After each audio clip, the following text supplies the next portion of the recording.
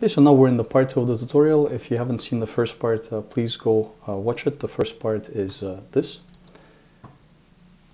And now the first thing that we'll do, we're going to go along with this uh, checklist here. So to explain to you what's going to happen is that we have the real estate unit that is connected to the brokers unit. And what we want to achieve is that when we assign the real estate unit to an external broker or vice versa, it's going to create a relationship between these two. So these two modules need to be connected. In this case, it's a many-to-many -many relationship. And the relationship is represented by a table here. So that table connects, it's actually this table. So this table connects the two. So it has the UN inventory ID, uh, the real estate ID, and the broker ID, right? And what we're going to do is we're going to create a new module and that new module is going to be the broker's commissions. So the two of them are connected, but we want, for example, this broker to have a different commission when he's assigned to this module. So the first thing that we'll do is we'll create the actual uh, table. And just to give you a quick uh, summary of why this, this approach is very good, I find, is because this is going to be tied directly to the relationship. So it's going to act basically as another relationship table. So it's going to be like an additional real uh, additional relationship table. And to give you an overview, so this is the what the broker's commission table will look like. It will have the real estate ID and the broker ID. These will be basically fields. We're not going to build a relationship between these modules here. The only relationship is going to exist between the real estate unit and the brokers but this is going to act as a relationship table. so what we'll do is we'll go to the system, we'll create a new module, and we'll create uh, the, the new extension and then the new module. There's tutorials that explain how to do that. And for that new module, what we're going to do is we're going to create fields. So actual fields that people can type uh, stuff in, right? It's going to be the external broker. This is the, the module and we created the fields for the real estate unit ID and the broker ID. These are going to be text fields. So when you create your uh, module, don't forget to add the, the text fields that represent the ID of the first table and the ID of the second table. So the two tables that you are connecting. So that's the first part. So we, have created the intermediary, intermediary uh, module. The relationship exists between our main modules, right? And then we have the, uh, the new module that was created. We've added the fields also. And I'm going to make this Google Doc available for you. So what we're doing is, uh, and why this, this approach is good is because when the relationship is established between record real estate and record external broker, this record gets created. So we're adding an after relationship add hook. So after the relationship is added, this record gets created. But when the relationship is destroyed, we'll add another logic hook. This record also gets deleted.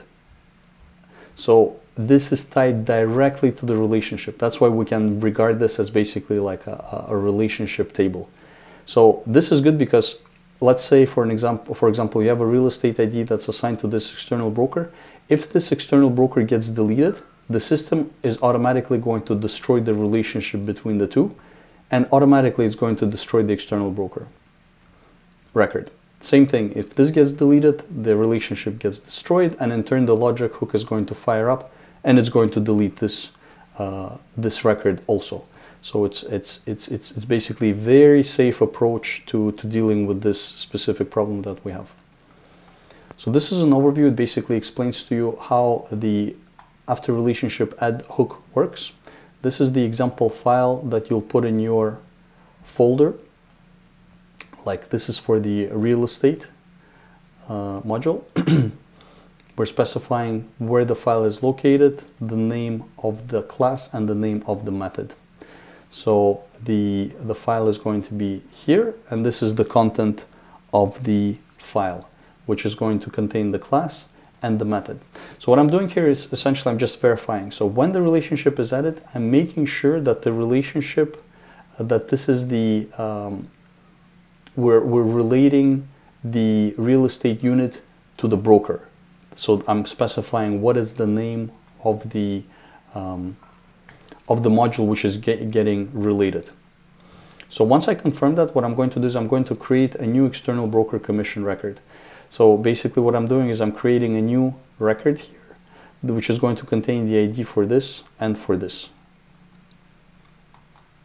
So I'm putting the example file of how it's going to get uh, created. So the method, the actual function that is going to create the record for us. And the way that it works is that it accepts the arguments as one of the parameters.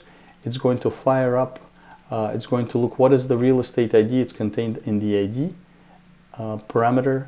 I mean, um, ID is the key uh, inside this array here that gets passed. So this is this is the real estate unit ID, external broker ID.